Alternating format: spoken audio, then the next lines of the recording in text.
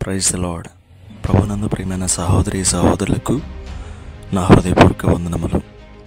ఈరోజు ఆరవ తారీఖు ఏప్రిల్ నెల రెండు వేల ఇరవై నాలుగున దేవుని జీవవాకు ఎఫ్ఏసీలకు రాసిన పత్రిక ఐదవ అధ్యాయము పదిహేను పదహారు వచనములు.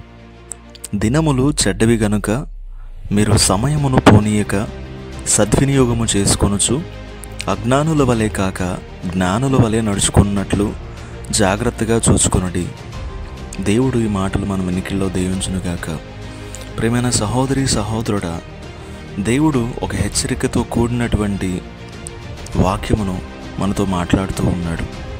అది ఏంటి అంటే మనము ప్రస్తుతము నివసిస్తున్నటువంటి ఈ దినములు చెడ్డవి అని లేఖనాలు సెలవిస్తూ ఉన్నాయి. ఎందుకు అంటే మన యొక్క విలువైన సమయాన్ని దొంగిలించుటకు సాతాను అనేక విధాలుగా మన ముందు ఎన్నో లోక సంబంధమైనటువంటివి మన ముందు ఉంచాడు. మన ఆత్మీయ జీవితాన్ని పాడు చేసేటువంటి పరికరాలు మన చేతుల్లోనూ మన ముందు సాతాను ఉంచి ఉన్నాడు. తద్వారా మన యొక్క విలువైనటువంటి సమయము మనము నష్టపోతూ ఉన్నాము.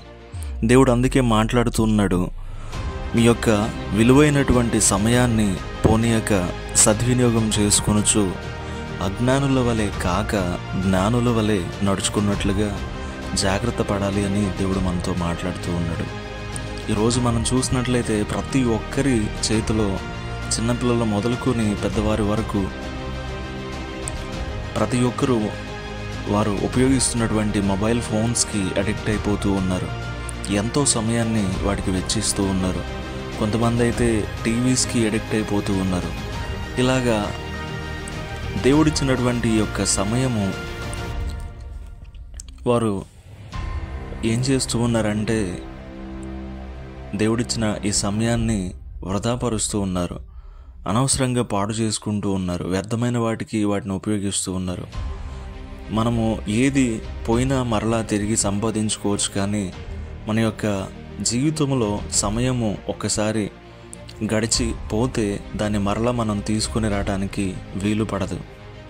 దినములు గడుస్తున్న కొలది మరణం మనకి సమీపిస్తున్న దన్న విషయం మర్చిపోయి ప్రజలు జీవిస్తూ ఉన్నారు. కాబట్టి ప్రేమైన సహోదరి సహోదరుడు దేవుడు మనకి ఇచ్చినటువంటి ఆయుష్కాలము డెబ్బది లేదా అధిక బలం ఉంటే ఎనభై సంవత్సరాలని దేవుని యొక్క వాక్యం సెలవిస్తూ ఉంది. ఈ యొక్క డెబ్బది ఎనభై సంవత్సరాలు కూడా మనము జీవిస్తున్నామా అంటే మనం ఆలోచన చేస్తే మన యొక్క అంతము ఎప్పుడు అనేది ప్రశ్నార్థకంగా ఉంటుంది. నీటి మీద తేలియాడు బుడగ వంటిది మన జీవితం. ఏ దినమున మన యొక్క అంతము ముగించబడుతుందో తెలియని దినముల్లో మనం ఉన్నాము లేఖనాలే మనకి బోధిస్తూ ఉన్నాయి ఈ దినములు చెడ్డవి అని. ఎందుకు చెడ్డవి అంటే మనకి తిమోతీలకు రాసినటువంటి పత్రికలో భక్తుడు ఈ విధంగా మాట్లాడుతూ ఉంటాడు.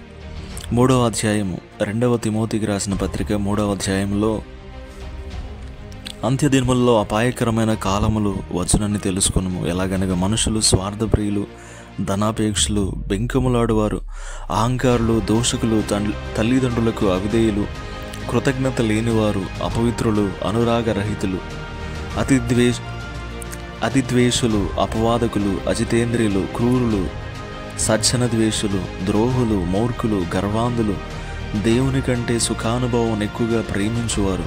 పైకి భక్తి గలవారి వలె ఉండి దాని శక్తిని ఆశ్రయించిన వారినై ఉందరు ఇటువారికి విముఖుడవై ఉండుము అని దేవుని యొక్క లేఖనాలు మనకి బోధిస్తూ ఉన్నాయి.